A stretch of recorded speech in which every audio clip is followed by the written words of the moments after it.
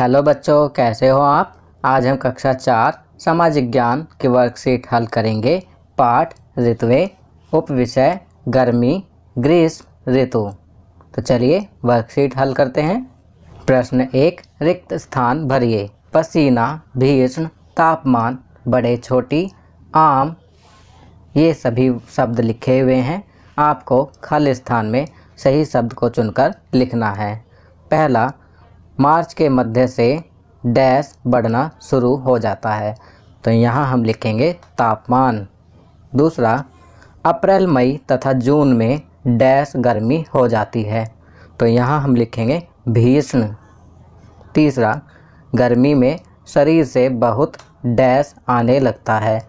तो यहाँ हम लिखेंगे पसीना। चलिए आगे बढ़ते हैं। चौथा, ग्रीष्म ऋतु में दिन डैश और रातें डैश होती हैं। तो यहाँ पहले लिखेंगे बड़े और बाद में छोटी। ग्रीष्म ऋतु में दिन बड़े और रातें छोटी होती हैं। पांचवा, गर्मी में सबसे अधिक मिलने वाला फल डैश है। तो यहाँ हम लिखेंगे आम। गर्मी में सबसे अधिक मिलने वाला फल आम है। चलिए अगला प्रश्न करते हैं। प्रश्न दो, सही गलत का निशान लगाइए। पहला, ग्रीष्म ऋतु में कभी कभी धूल भरी आंधियाँ चलती हैं तो यहाँ हम सही का निशान लगाएँगे।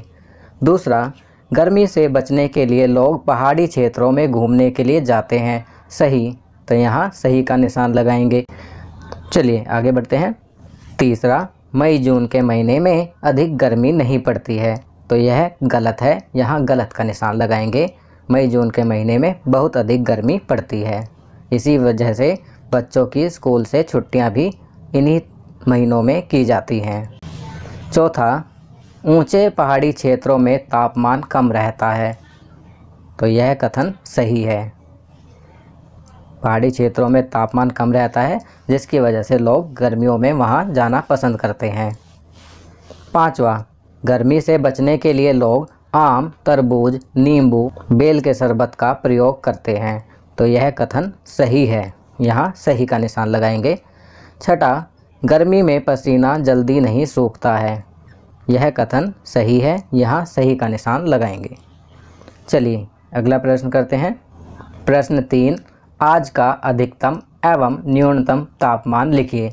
तो बच्चों, इसका उत्तर आप स्वयं लिखेंगे आपकी सुविधा के लिए। मैं यहाँ लिख रहा हूँ, अधिकतम तापमान 33 डिग्री सेल्सियस और न्यूनतम तापमान 25 डिग्री सेल्सियस। चलिए अगला प्रश्न करते हैं। प्रश्न चार, लू किसे कहते हैं? लू भारत के किस क्षेत्र में चलती है? तो इसका उत्तर लिखेंगे। दिन के समय तेज चलने वाली शुष्क एवं अधिक गर्म हवाओं को लू कहते हैं। लू भारत के उत्तरी मैदानी क्षेत्र में चलती हैं।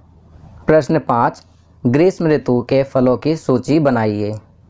तो यहाँ हम लिख सकते हैं, आम, तरबूज, खरबूजा, फालसे, बेलपत्र इत्यादि।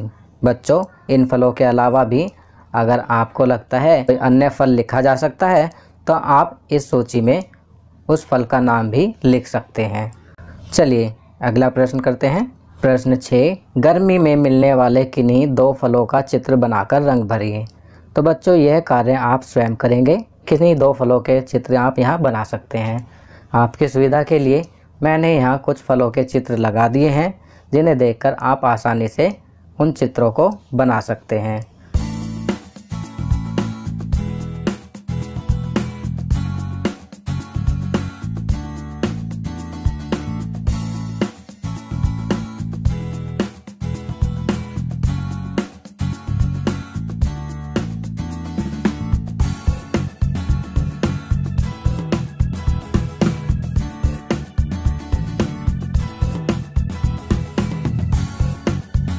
बच्चों, ये वर्कशीट यहाँ कंप्लीट होती है। अगर यह वीडियो आपको अच्छी लगी तो इसे लाइक एंड शेयर ज़रूर करें। अन्य विषयों पर बने हमारे लेटेस्ट वीडियोज़ को देखने के लिए चैनल को सब्सक्राइब करना ना भूलें और देखते रहिए हमारा channel Knowledge Kingdom thank you